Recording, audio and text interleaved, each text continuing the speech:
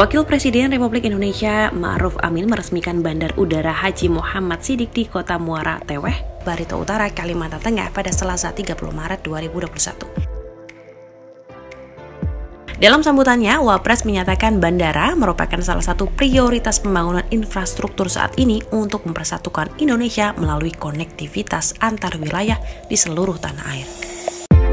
Tujuan utama pembangunan bandara ini yakni untuk mendukung pembangunan lumbung pangan.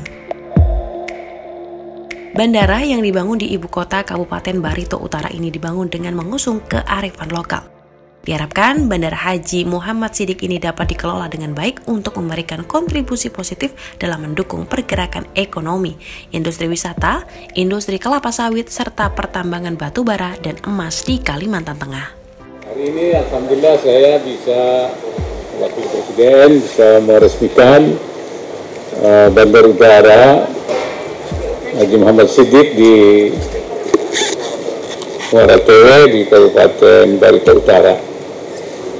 Jadi saya katakan tadi bahwa pemerintah membangun bandara atau infrastruktur udara, infrastruktur darat, infrastruktur laut, infrastruktur langit lah. Ya, itu, itu dalam rangka kita membangun kesatuan negara Republik Indonesia, baik geografis, politik, geografis maupun juga uh, ekonomi. Geografis yang saya maksudkan itu semua negara ini bisa terhubung dari satu wilayah ke wilayah lain.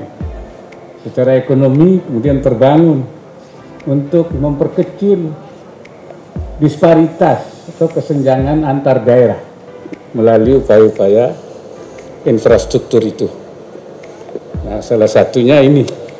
Ini kita harapkan ada potensi-potensi yang bisa dikembangkan seperti emas, ada apa namanya batu bara, ada sawit, dan ada pro program nasional kita itu food estate.